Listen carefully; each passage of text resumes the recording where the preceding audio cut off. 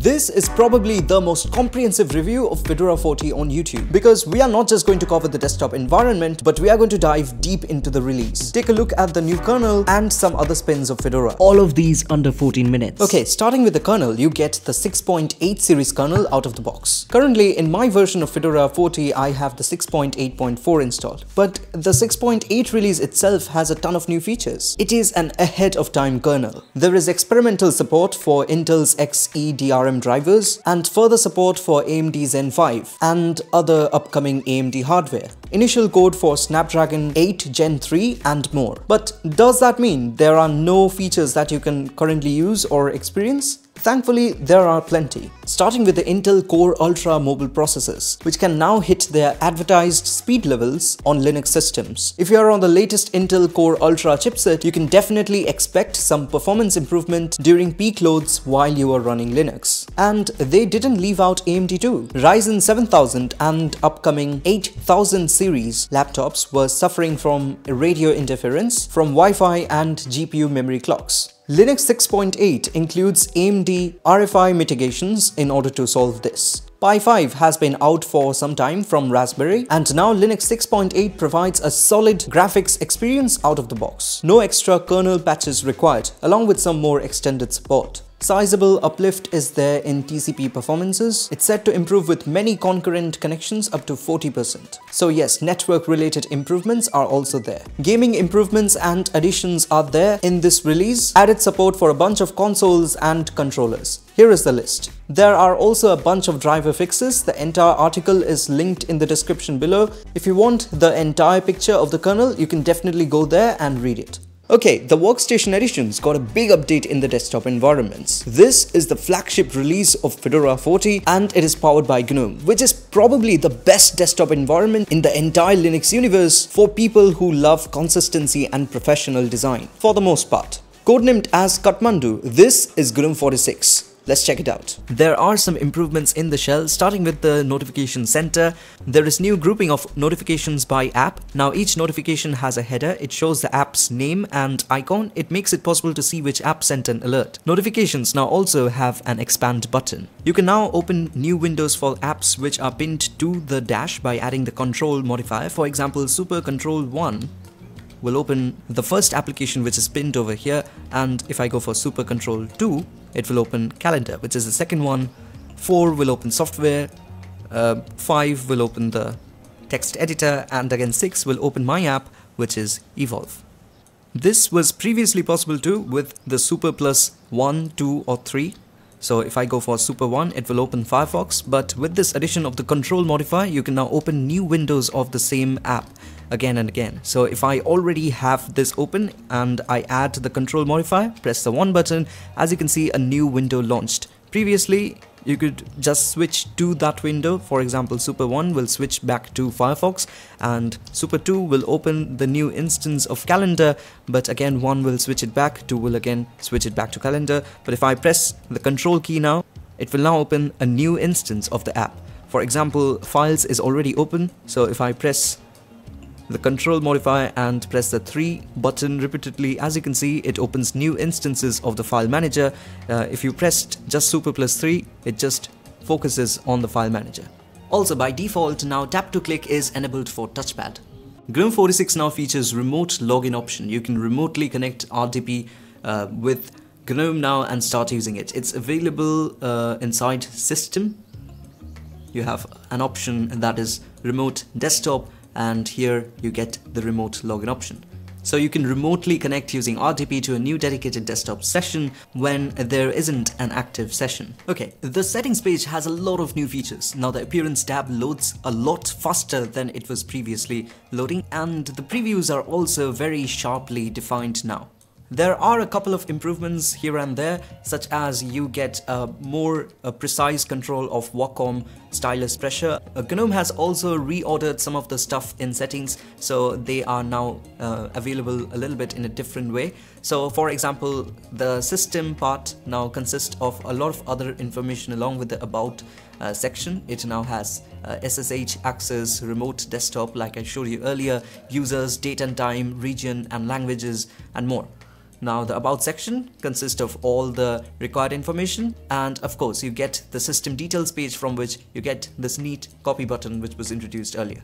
And the touchpad settings has also got some improvements online accounts page. Now uh, previously you had the option of logging in from here itself. For example in google I, I could have logged in from here inside a dialog box. But now it's available from the browser and it's it might seem like to be a little bit inconvenient for opening a new application but it's actually much safer than the previous option which you had. The default apps page is now present inside the apps page where you get these options uh, previously they just showed in the sidebar. Now you get them inside the main view and you can click and open the app. It also shows if the app is sandboxed or not. Uh, if you open a flatpak application it will show you it is sandboxed. For example this is probably flatpak and as you can see it is sandboxed properly. So like I mentioned before has some improvements too and it also now includes the removable media page Notable improvements are there in the Files app too. So here we have the Files app. Now you get this new search button which is the search everywhere button.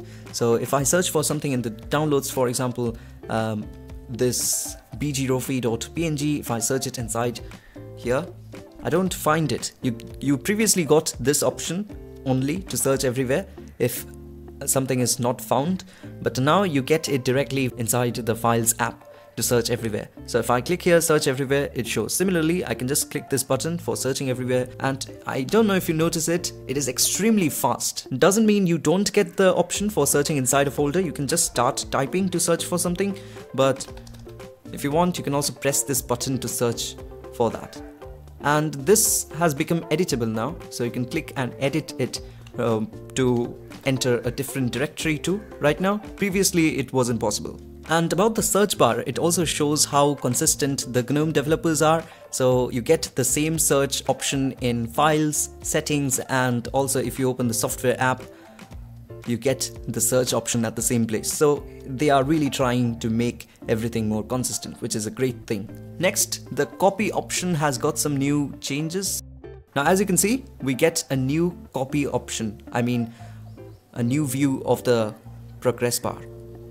Previously it was available here I guess in the corner but right now you get it here. Uh, there's some space at the bottom part of the sidebar so again why not use it. Next is a very small change switching between grid view and list view now happens instantly. Previously it took a split of a delay and the entire screen became blank but now it's just instant. Also, the star animation has a little bit of an update. So when you star a file, it shows this nice little animation, but now you also get the unstar animation. Now, the calendar app has got a nice little UI update. There are some additions here showing the week number, but along with that, you get a new animation for the about page. And not just the about page, it's also available in the new event page. You get this nice little animation and it's adaptive. So if you make it smaller and go for the about page, it now comes up from the bottom like a drawer. Similarly, for the new event, which now goes down because of the small space, you get the same animation, which now pops from the bottom part. And if you make it larger, it becomes a dialogue again with the changed animation. It is but at some point, the calendar app looks kind of messy in this part, so it's not fixed yet. It was also present in the previous version, and it's still there. Now along with these there are some other improvements too. The software app now displays verified badges for trusted Flatpak apps ensuring software authenticity. Map has got some nice little improvements. You can now enable the experimental map which is adaptive to the dark mode and is much sharper than the map which was used previously. So if I again switch to the light mode, you will notice the map changes and it uses the lighter variant of the map. Also, the clock app has been updated. You can now quickly set any timer and you can just click and it will start. Contacts has also got some new changes. It now lets you to import multiple vcard files at once in the app. It has also got some other performance improvements which is reduced memory usage in search, significant speed boost in terminal apps, more appealing visuals as app interfaces appear sharper, text on the screen is clearer and UI elements more defined. particularly when using fractional display scales due to GTK's new render. There is also experimental support for VRR, which is variable refresh rate or smoother video performance. Uh, you can enable this feature with the command, which is using G settings. Once enabled, the refresh rate can be set in the display settings. There are some under the hood changes in Fedora Linux 40. You can check them out from the official release page, which is linked down in the description below. To know more about GNOME 46 and get an interesting feature too, make sure to check out the video from the i button above or click the links provided in the description below. It is also tested on Fedora 40 mostly and I've also used GNOME Nightly for the testing purpose. Okay, the Plasma release of Fedora 40 now has Plasma 6 release out of the box. It is a significant update. First things first, Plasma is now Pro Wayland, which means it now defaults to Wayland over X11. All the remaining bugs in the previous release of Plasma Wayland are fixed, and you get a really stable, solid Wayland experience, with all the Wayland specific features, such as HDR gaming or video support. But that doesn't mean it has completely ditched support for X11. You do get a Wayland to X11 bridge, support for all X11 apps. Also, this is the first release of KDE Plasma using Qt 6. The entire desktop experience did not completely change, but the panel has got some updates. It is made floating, so it looks much better, but it is adaptive at the same time. So if a window covers it, or if it is maximized, it becomes a normal panel. And there's a new panel settings page too, which is so much better with all these previews. Now, there's also a new Alt-Tab interface, which now looks very similar to other operating system, and it's a welcoming change for people who are first time switching to KDE Plasma or even trying out Linux for the first time. This also makes KDE Plasma more suitable for first-time recommendations. There is also a new activities page which is mimicking that of GNOME activities. It is a really nice addition too. Breeze got some upgrades, although it doesn't look prominently different or alien, but reduced borders now make the app interface look more clean and modern. This was a necessary change. Much of Breeze remains the same though. Settings pages are revamped, some positions are altered too. However, most of the stuff remained the same in settings. And then we have updates in Dolphin, Spectacle with new keyboard shortcuts, Kate with its uncanny text-to-speech voice, and console getting memory monitoring feature with changes in Plasma Mobile which isn't part of this release since it is meant for desktop use only. Overall there are solid additions to the Plasma 6 release but at the same time there are some problems. To watch in details check out the entire Plasma 6 review and feature 2 video from the i button above or again you can click the links provided in the description in order to access it from there. If you had been keeping up with the Linux use, Fedora recently added a new group of operating systems known as the Fedora Atomic Desktop. Well not a new group technically but but they placed their existing immutable releases under the name Atomic Desktops. This is coming after their success with Silverblue based on their flagship GNOME experience and many other spins of Fedora now jumping into their Atomic releases. As you would expect, there is Kinoite 2, which is the KDE Plasma based Atomic desktop environment on Fedora, along with Sway or Budgie Atomic desktop spins, instead of names like Onyx in order to keep things simple. Also, future releases under this will be termed in the format as Fedora desktop environment name and then the word atomic. Okay, so that is all for today. Thank you so much for watching. Do like, share and subscribe and I'll catch you in the next one.